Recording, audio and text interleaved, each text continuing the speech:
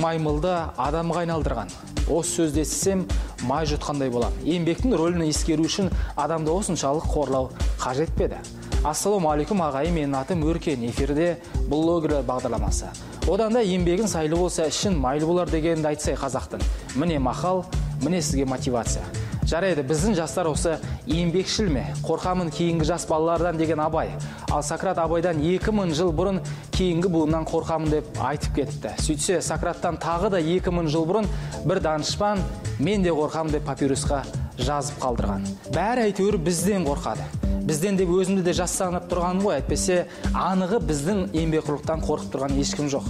Жоға. Қазақтар негізі әкесін ата деп атаған деген ойым бар дейді. Ал атасын баба деген дейді белгілі блогерде біз атаға мен негізі аудармашы болып жұмыс істейтін асқар базарбайдың логикасы. Жалпы бұл жігіттің басқасына қызықпасаң да қисын құруына анық қызығуға болады.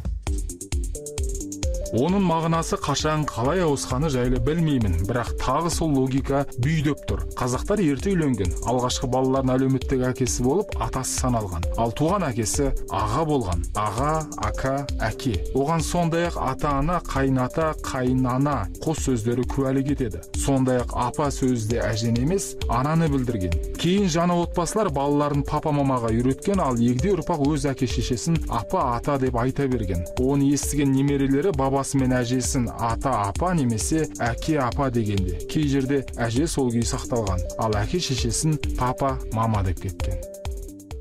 Қалай? Қисынды ма? Кәдімгідей ойланып қаласыз. Бар нәрсе салыстыру ғой. Қашан осы батыс елдерінен түгінен түк қалдырмай үлгілей береміз? Мысалы беларусь одан қандай үлгі аламыз? Мұнда себепсіз жұмыс істемей жатып алсаң салық бар. Егер сен жұмыс істемесең онда қазынаға жыл сайын 300 доллар көлемінде ақша құясың. Қайдан табасың ол сенің мәселен таксистердің бәрі айтады көршілес балтық маңы елдерінде еуропалық ауыл шаруашылық киллерлері үлкенді кішілі фермерлік шаруашылықтардың бәрін түгел сатып алыпты. Сөйтіп өздеріне болашақ азық түлік нарығын тазалап алған. Ал мұнда баяғы колхоздарды ұстап отыр. Беларусьтың жағдайы осы. Ал біз оның шекарасынан шығандап әлемді бір қамтып қайтайық форбс журналы әлемдегі ең ықпалды адамдардың тізімін жариялады.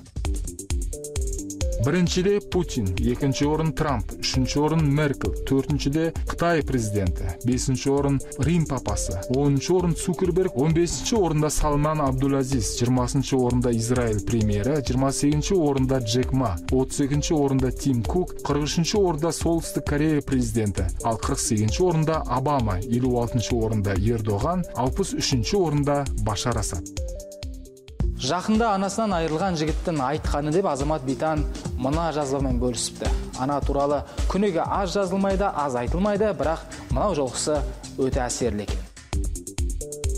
Әке шешеммен күн сайын бір минут болса да сөйлес. Бір нәрсе алып берейін дегенде әперме десе де алып бер. Қатты сөйлеме. Ата анасы бар адам бай адам. Оны енді түсіндім. Көбірек жылы сөз айтпаған екем көбірек құшақтамаған екем көбірек қызмет етпеген екен деп өкінемін. Ананың орны толмайды. Жолға шықсам жеттім бе деп қарны ашқан жоқ па тоңған жоқсың ба деп хабарласып уайымдап тілеуімді тілеп отыратын адам енді жоқ. Ананың қадірін біліңдер.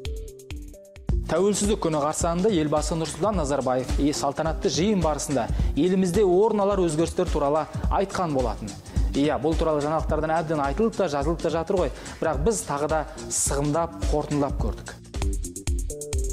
Барша үшін жалпыға ортақ кәсіптік білім бағдарламасы бойынша бір миллиондай жұмысшы маман дайындалады ғылыми зерттеулерге бөлінетін ақша ішкі жалпы өнімнің үш пайызына дейін жетпек 380 миллион шаршы метр тұрғын үй салынатын болады тұрғын үймен қамтамасыз ету бір адамға шаққанда қазіргі 21-ден 30 шаршы метрден астамға дейін өспек бүкіл азаматтар тұрғылықты жеріне жынысына жасы мен әлеуметтік жағдайына қарамастан жоғары сапалы білім мен медициналық көмек ала алатын болады келесі жылы жүз мың қазақстандықтың зейнетақысы 20 пайызға көтеріледі. Жаңа туған балаға берілетін мемлекеттік жәрдемақы көлемі 2017 жылғы бірінші шілдеден бастап 20 пайызға өседі. Қош сау.